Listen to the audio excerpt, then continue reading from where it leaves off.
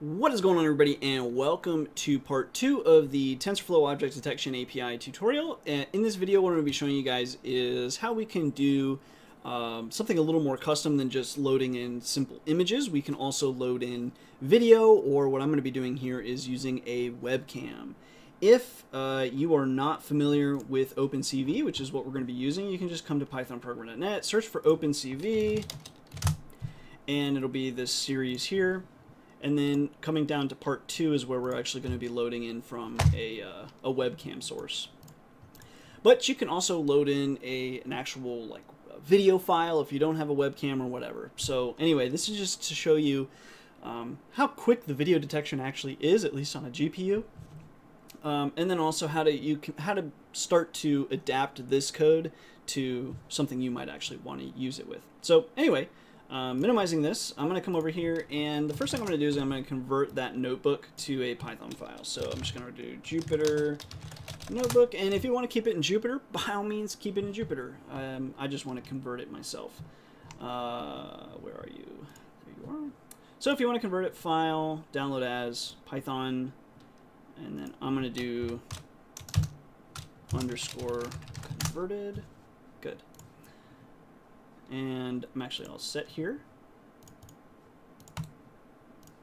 I'm going to edit this. Also, if you need to install OpenCV or whatever, um, you can use that tutorial series. So if you don't have it already installed, pause this and go to that tutorial and make sure you install um, CV2.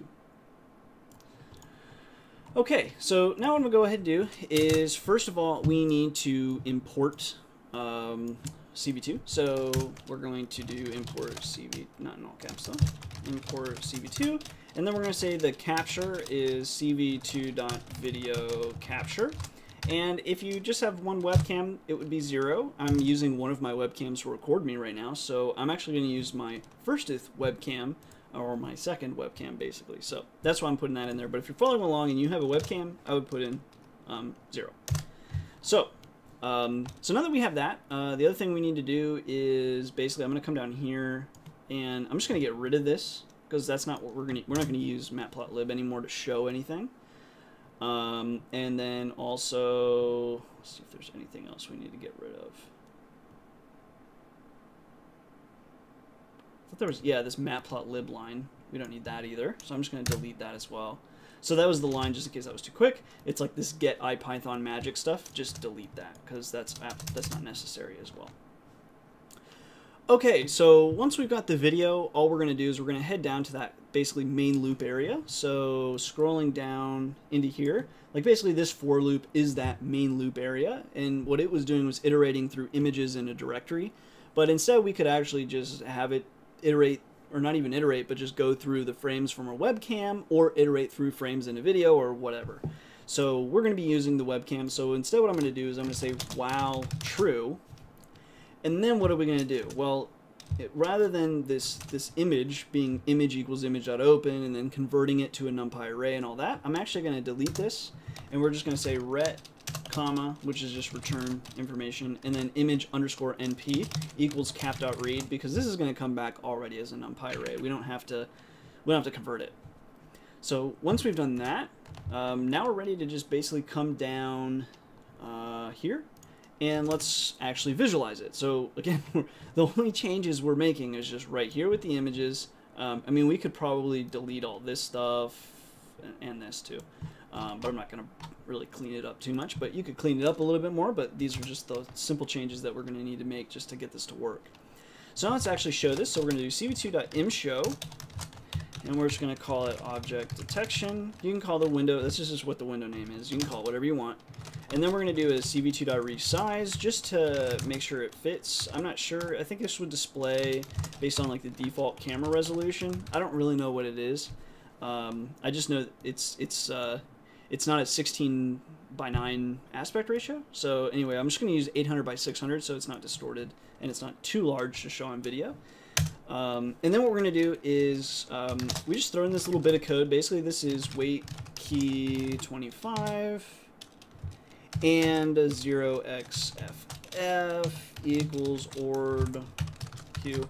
So what this is just saying is basically if we exit out the window, um, or rather actually if we just press the if we just press Q um, we'll exit. And actually, I think we can get away with just having this wait key here. Um, but we'll go ahead and use um, for the Q as well. So you can press Q to close basically what we're doing. Anyway, cv2.destroy all windows camel cased, if that's the case, and then break. And if you don't have this code here, for whatever reason, it's kind of surprising to me. I, I don't know exactly how that works in the back end, but basically if you don't have this code here, it won't actually keep iterating. So it's kind of weird because this is only here for if you want to like break the entire like running of this this loop. Um, but if you don't have this if check here, um, it just won't iterate. So I'm not really sure why that why that works that way, but it does. Someone can comment below and, and educate me why that how that works on uh, OpenCV's end.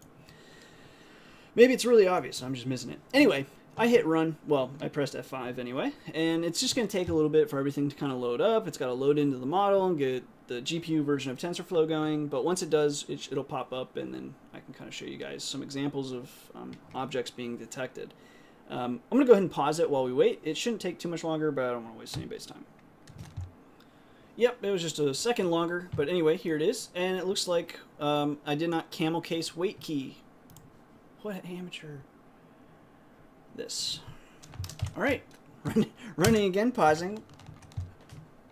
For some reason, I swear it. Oh, my caps lock is on. Okay, really camel casing, pausing again. All right, so it is ready. It's detecting a person on top of my uh, shelf there. Not, that's not very. And my dogs are barking.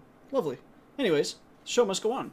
So, okay, it is running, and like I was saying before, um, you know, the frames per second, it's not like it's doing like 60, but it's probably like 15 to 20, which is actually pretty good for like a, a running stream of detection, and with, um, you know, all the objects it's detecting here. I mean, I, I know at least here the list is 90, but I think actually full like the whole COCO like um, common objects and context. Um, I think it's 300, but I'm, I'm not positive. It might be 90. But anyways, that's a lot of possible objects. But anyways, just for an example, we've got person here, which is correct. Chair. Sometimes it calls it a couch. Yeah, but I mean it's pretty close. Yeah, I think it just sees cushions. But um, should be able to do like a bottle. Mm, there we go. Oh, it's, apparently it's a wine glass. It's a bottle now. Anyway, so you got a bottle. Um, probably do a phone. That's my guess. Anyway, yep, cell phone. So pretty cool. Anyway, uh, so that's just one example of adapting this code to do something else, something other than just classifying images. Because again, to me, classifying the images isn't that exciting because we've been able to do that with like the, the HOG Plus SVM algorithm, whereas classifying video at a decent frames per second is um, a, a much a much more impressive uh, task. Um, and, and, this does it really well, and it's a pretty lightweight model and everything. So this is pretty cool. Now, um, pressing Q. Um, in the future, uh, what I'd like to do is uh, I'll probably show, because I showed some code of basically using this object detection algorithm to basically create an aimbot in Grand Theft Auto. I'll probably do that, but I won't be including it in this series, so if you want to see that, you can go to the Python Plays GTA series. Um, Otherwise, uh, the next thing I want to do in this series is show how we can create our own classifier or our own object basically. So there's a few things we could do. We could train our own object detection algorithm completely and just train it on one object or we can add this object to an already pre-existing model or we can use that model's weights um, to at least give us a head start on training a new object. So anyway, um, that's the next thing I'd like to cover with these this TensorFlow Object Detection API, because basically up to this point, we really haven't trained any model at all. We've just been using a pre-trained model, which um, honestly, there's so many things we can do with that already. Um, but there's still a little bit more that we can get out of this object detection API, so I definitely want to show that as well. So anyways, if you have any questions, comments, concerns, whatever, feel free to leave them below. Otherwise, I will see you in the next tutorial.